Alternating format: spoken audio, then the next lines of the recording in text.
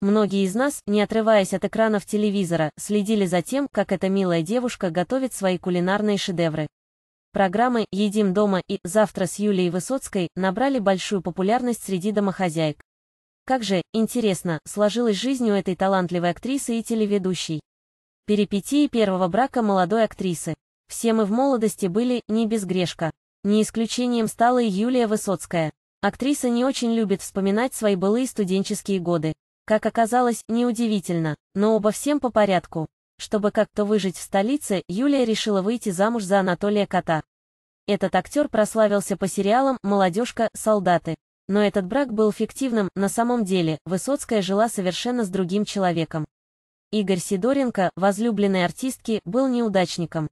Актерская карьера у него не получилась, поэтому он часто заливал свое горе крепкими алкогольными напитками.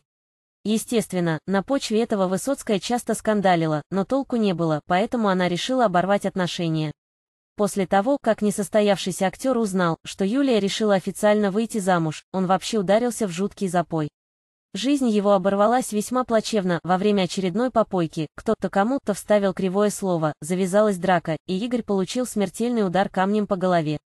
Высоцкой сообщили об этом трагическом происшествии, но она решила не присутствовать на похоронах, ей хватило тех мучительных месяцев, что она прожила бок о бок с этим пьяницей. Думаю, на ее месте также точно поступил любой из нас. Парадоксально другое, на панихиде присутствовал ее бывший фиктивный муж, Анатолий Кот. Юлия Высоцкая и ее нынешняя семья. Со своим нынешним мужем, Андреем Кончаловским, Высоцкая познакомилась в 1996 году на популярном сочинском фестивале «Кинотавр».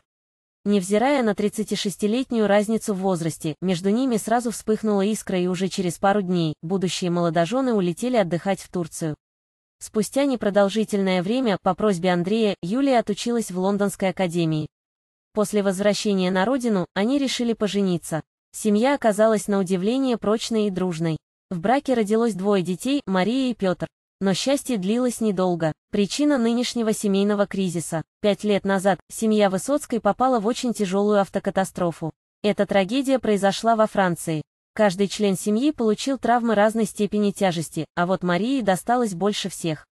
Из-за очень серьезных повреждений дочь впала в кому, из которой не выходит и по сей день. К сожалению, родители не дают комментариев в прессе, как себя сейчас чувствует их дочь.